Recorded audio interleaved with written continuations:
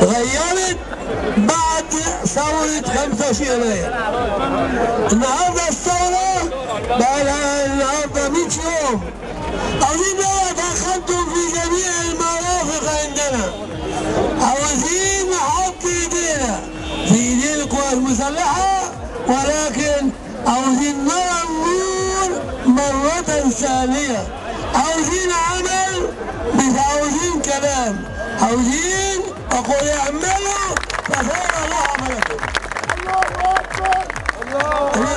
اللي يجيب الرئيس اللي يجيب الرئيس اللي لازم النهارده ناخده بالطوابير ليه؟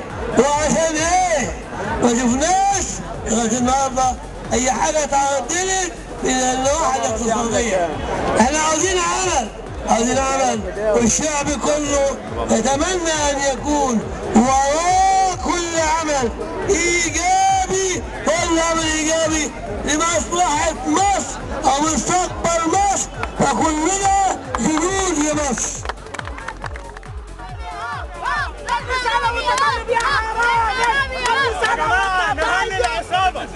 هنعدي نهني العصابة. لا أصل هما غير بعض مش نصر يلا يلا. ده أنتوا بجد طلعتوا عصابة.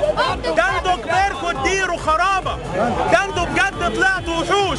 قاعدين تاخدوا وما تدوش فوق قاعد ريس وعياله كل جنيه جواه راكبين تحته شوية أحلى هدية. البهوات المسؤولين هادية وشوشهم تحت كروشهم. على طول دايما مبتسمين. دول امداد دول شغلتهم بيع امدادهم للبشوات الممولين. لو على دول دول قيمة وسيمة وخبرة قديمة في التهليب فيلا في ساحل قصر في بابل. يخت في سيدني وبيت ببسين بدلة شياكة آخر حاجة والعربيه ليموزين مز علاجه وكاس وزجاجة وحبة زرقاء لزوم الحاجة. حتة أرض في قلب الصحراء بيبيعوها بالملايين وامضي يا بيه بخمسة جنيه. ابن البص راكب في الشغلة يزعل كرسيك يقلب حلة. امضي وخد لعيالك فيلا شرحة وبرحة بعشرة جنيه. يمضي البيه. ابن الإيه؟ امضى في امضى هي مصر اتباعت. خط الفقرة هي تحت وضاعت والمستقبل قافل باهت طب على فين بعدين رايحين؟ كل 200 واحد متجوز كل مواطن ماشي مبوز فقل جهر وجهل وفقر مرض وروتين. متفقين؟ اوعوا تفتكروا ان إحنا الابطال إحنا مش ابطال اقسم بالله الابطال هم اللي جوه مش إحنا إحنا ما عملناش حاجة. كل اللي بنعمله ان إحنا بنتكلم أنا لسه شايفهم هم دول الشرف مش إحنا الشرف هم دول الابطال مش إحنا الابطال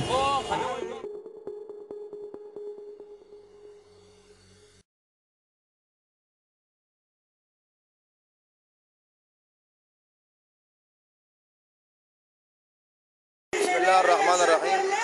أنا باشا أنا بحكي قصة أخويا المعتقل السياسي خالد أمين مهندس بقاله 21 سنة في المعتقل من أيام الظلم الفاسد حكم عليه من أيام أمن الدولة أحكام عسكرية ظلم اتلفقوا له أكثر من سبع ثمان قواضي ظلم وحتى الآن بنناشد ان هو هو قضى لغاية دلوقتي نص المدة.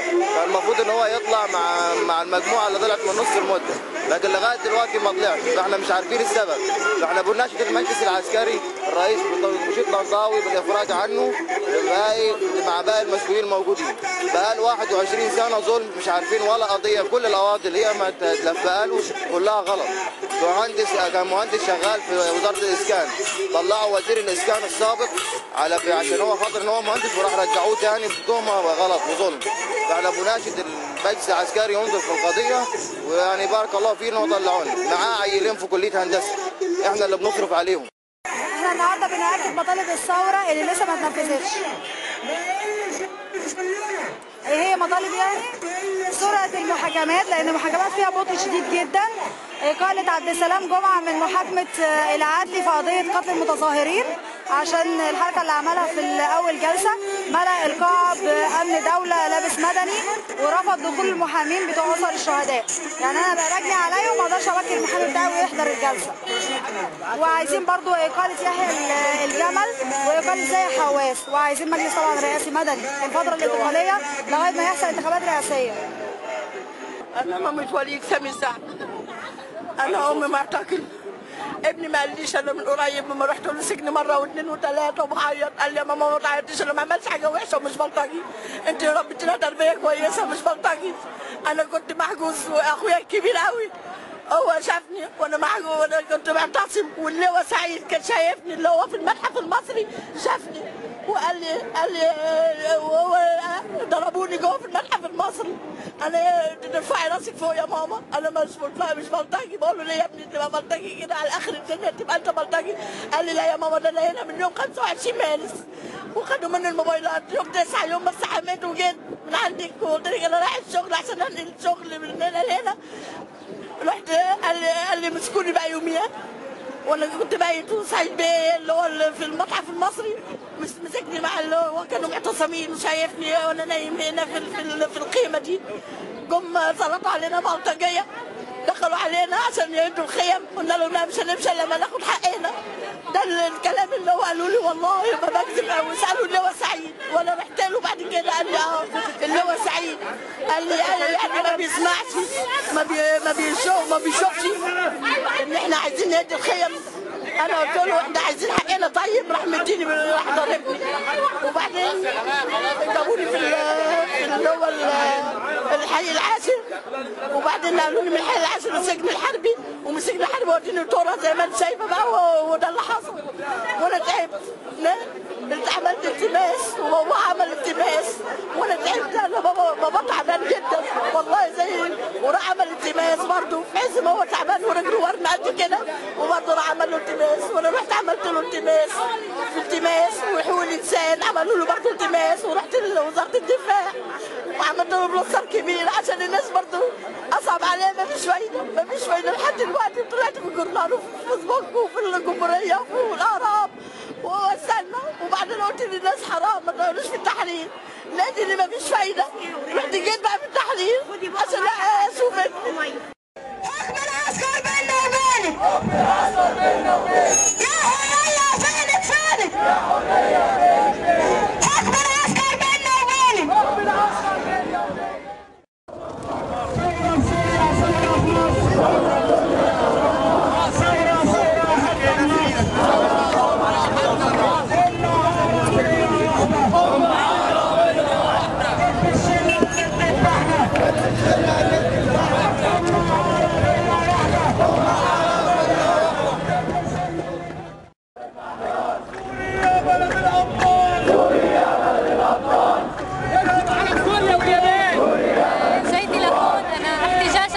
المجازر اللي عم بتصير في سوريا في كل لحظة في كل دقيقة.